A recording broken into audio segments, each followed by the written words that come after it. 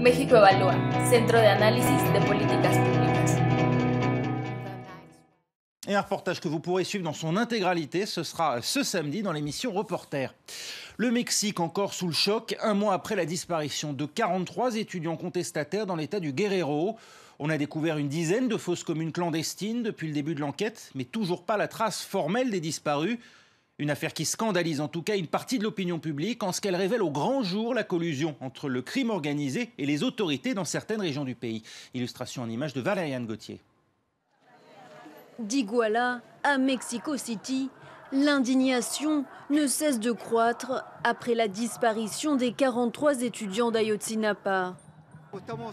Nous demandons que les faits soient clarifiés, que les étudiants soient rendus vivants et que les responsables soient jugés. Ceci est un crime d'État qui prend des allures de crime contre l'humanité. Nous ne resterons pas silencieux, le peuple est uni. Le gouvernement doit travailler pour nous et pas seulement dans son intérêt.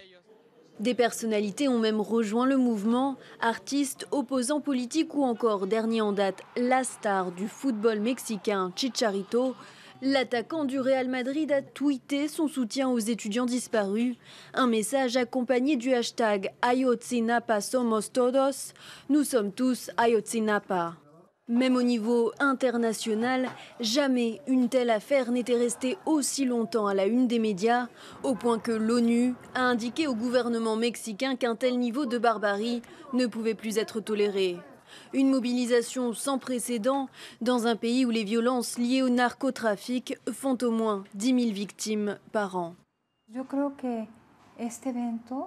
Je pense que cet événement a été le catalyseur non seulement de la douleur énorme des familles, mais aussi d'une volonté de changement.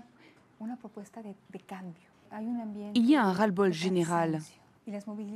Et la mobilisation se maintient car il y a une perception selon laquelle dans notre pays, les institutions ne fonctionnent pas.